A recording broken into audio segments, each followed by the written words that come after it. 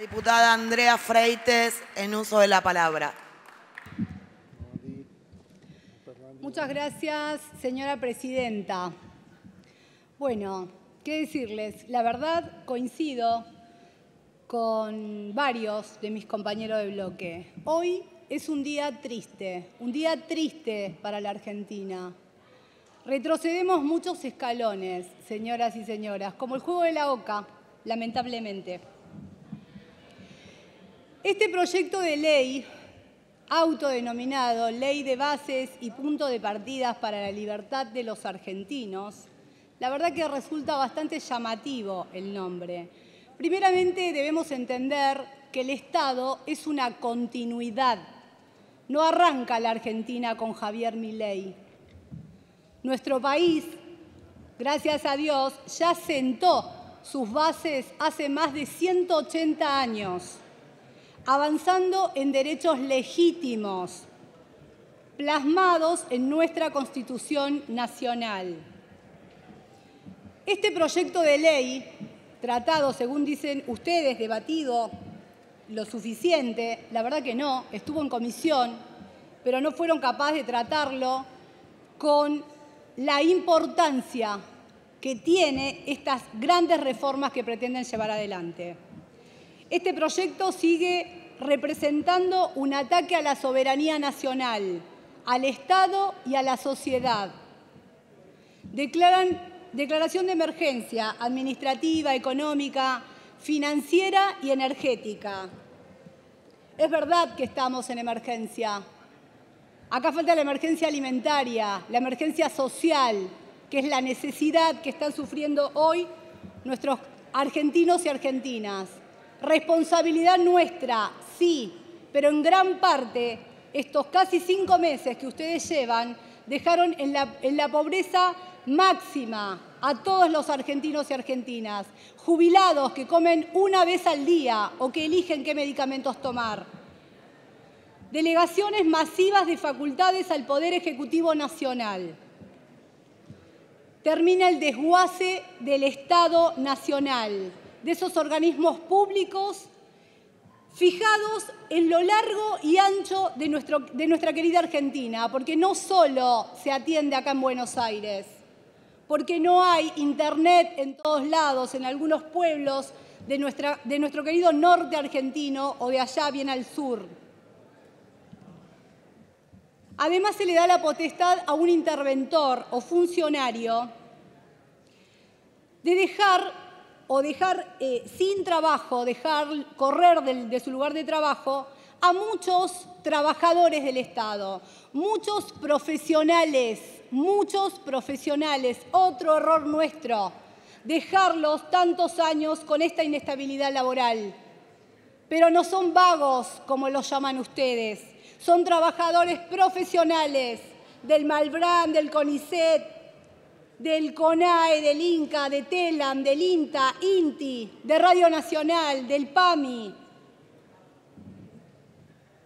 del Fondo Nacional de las Artes y muchísimos más. No podemos permitir que se nos venda la idea de que la libertad individual está reñida con el bienestar colectivo. La verdadera libertad solo puede existir en un contexto de igualdad de oportunidades y de justicia social. Esta ley de Javier Milei amenaza con profundizar esas brechas sociales, incrementar la desigualdad y dejar de lado a los más vulnerables a merced del mercado sin regulación alguna.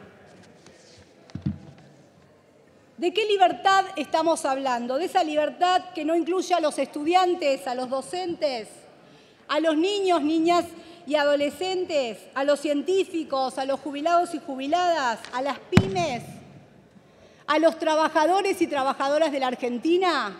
No nos incluyen en este proyecto de ley. No incluyen la discusión necesaria de los cambios que necesita el sistema educativo nacional que deben darse en el ámbito que corresponde, en las comisiones que corresponden y con los sujetos que intervienen en el sistema educativo. No hablan de la paralización de la obra pública en todo el país. Pero, ¿qué, es esa obra pública? Agua potable, viviendas, escuelas, hospitales, calles. Ah, pero si hablamos de la corrupción, ponemos en duda el control de esos fondos. Bueno, respondiendo acá a la diputada tucumana, que entiendo que por sus dichos es oficialista, les cuento, los fondos fiduciarios creados por presidencia, 10 fondos creó Mauricio Macri, 7 Cristina Kirchner, 5 Menem, 3 de la Rúa, 1 Néstor Carlos Kirchner.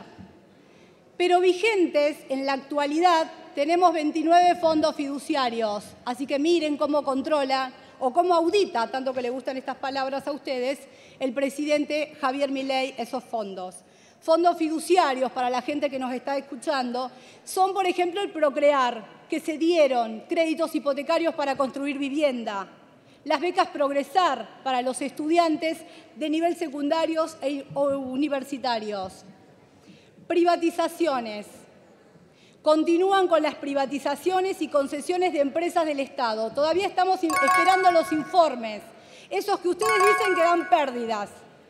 Privatizar aerolíneas argentinas. Quiero ver cómo votan los diputados fueguinos.